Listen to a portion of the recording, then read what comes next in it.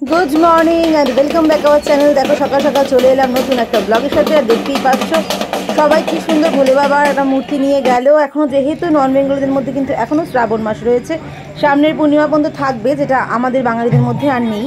কিন্তু যেহেতু ওদের মধ্যে রয়েছে, তাই সেই পুজোটা কিন্তু এখনও শ্রাবণ মাসের যে ভোলে বাবার পুজো চলছে। তারপর দেখো, সকাল সকাল সেই গাছগুলো কিনেছিলাম না? তোমাদের সঙ্গে সেই গাছগুলো শেয়ার করছি। গাছগুলোর অবস্থা দেখেছ? অর্ধেক খেয়ে ফেলেছে। মানে ইঁদুর এদেরকেও ছাড়লো না। এটা বেশ সুন্দর বারান্দায় জানলাটার ওপর রাখা হয়। তারপর যখন রাত্রিবেলা জানলা বন্ধ করে নিচ্ছে নামিয়ে রাখা হয়। এবার উঠে দেখা হচ্ছে, ঠিক এরকমভাবে কুচিয়ে কুচিয়ে পুরো খেয়ে নিয়েছে। তাই ভাবলাম, ইঁদুর আর কী খাবে না বলো তো তারপর দেখো, আজকে সকাল সকাল রয়েছে হলাম বাড়িতে আমি আর মামুনি। তাই ভাবলাম, একটু কিছু অন্য কিছু করে দেখা যায় তা কী করে দেখা যাবে না, সাবু খুব সামান্য রয়েছে। সেটাকেই করব, তো এই আলু, পেঁয়াজ জাস্ট একটু ভেজে নিচ্ছি। আদার সবজি তো কিছু নেই মানে বিনস, গাজর, যেটাই আমরা সাবুর পোলাও বা ওই টাইপের কিছু করতে গেলে করি তাই ভাবলাম একটু আলু পেঁয়াজ দিয়ে ভেজে আর এটাকে একটু ভিজিয়ে রাখা হয়েছে সাবুটাকে দিয়ে করব। কিন্তু কেমন যে করব বা খেতে কেমন হয় জানি না বলেই তোমাদের সঙ্গে আজকে ডিটেলসে শেয়ার করছি না। আমি যে করে দেখিনি। কিন্তু ওই করতে গিয়ে দেখো জিনিসটা এরকম দাঁড়াল। খেতে কিন্তু সত্যিই খুব ভালো লাগছে।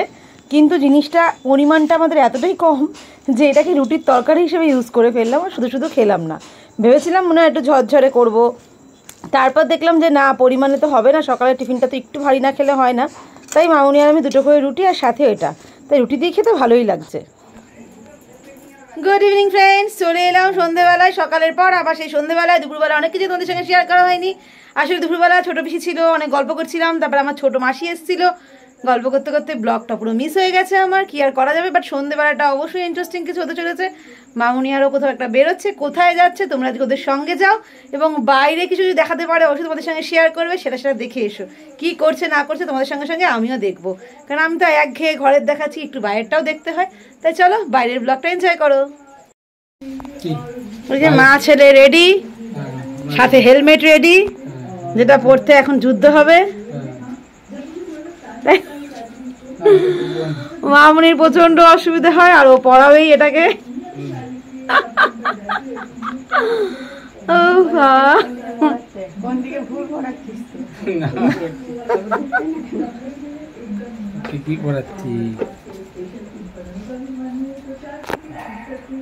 দেখো ছেলের কাছে মা মানে ছেলের যেদের কাছে মা বেচারা হেরে যাচ্ছে এই হেলমেটটাকেই পরে যেতে হচ্ছে গরমে। যদি এটা সেফ অবশ্যই ভালো।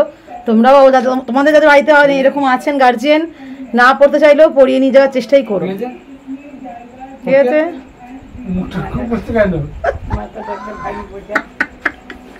ঠিক আছে চলো সাবধানে এসো। হ্যাঁ। দেখো ওরা পৌঁছে গেছে দিদির বাড়ি। বলতে পারো বেবি শাওয়ারের ফার্স্ট ইনভিটেশন কাউকে করতে গেছে ইনভাইট করতে গেছে দিদিদের। তো করে তারপর ওরা আবার এক জায়গায় যাবে। তো ওখান থেকে কোথায় যাচ্ছে? এই দেখো চলে এসছে হলো কালীবাড়ি। টুকটাক কিছু কেনাকাটার ছিল যেমন দেখতে পাচ্ছ পাথরের বাটি। মানে এখানে একদম তোমরা আসল প্রপার যে পাথরের বাটি হয় সেটাও পেয়ে যাবে। এবং যে কোনো ঠাকুরের মূর্তি ফটো সব কিছু পাবে। এটা হচ্ছে আমাদের শ্যামনগর কালীবাড়ি, যেখানে সব সময়ের জন্যই কিন্তু মেলা থাকে। দেখতেই পাচ্ছ কত রকমের ঠাকুরের, সব ঠাকুরের মূর্তি কিন্তু এখানে অ্যাভেলেবেল রয়েছে। তো মামুনি, ওই কি পাথরের বাটি কিনতে গেছে? আসলে আমাদের রবিশ্বরের দিন ওটা লাগবে, সেই জন্যই আনতে গেছে। তোমরা দেখতেই পাবে কি কাজে লাগছে সেই দিনই অবশ্যই দেখাবো। আর তারপর দেখো কি সুন্দর মা দুর্গার মূর্তি তোমাদের সাথে সাথে আমিও দেখলাম।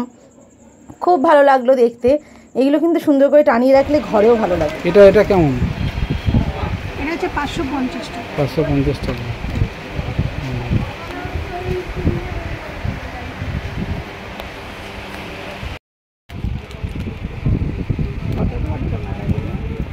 মালাটা পঞ্চান্ন টাকা আরও বেশি দাম